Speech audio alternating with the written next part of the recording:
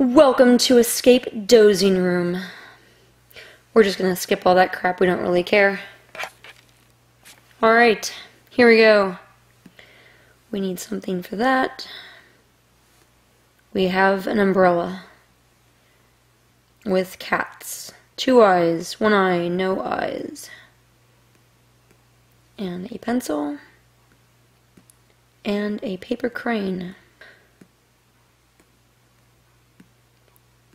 Alright, we need to collect those.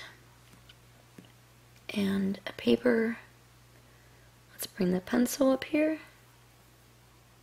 Okay, well, we found where that is. And that doesn't open. The clock. Okay. Go ahead and put this here. What else do we have? And that's where paper cranes go. Let's see. You open, you need a key. What about you? You are a box. Ah. Two eyes. One eye. No eyes.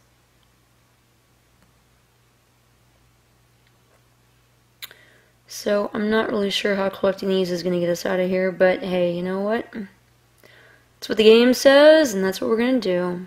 Pocket. Razor blade paper crane. That's two out of three. And red key.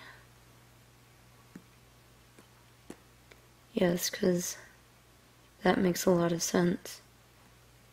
Okay, well, we'll come back to you. Let's see. What do we have left? We need two more symbols and we need one more paper crane. And what are we looking for? We need colors. That's what we need. Okay. Oh, here's the safety pin. And one more symbol. Okay, more of these symbols. And paper crane, and a color. Okay. There we go. Red, purple, blue. Red, purple, blue. And we have this.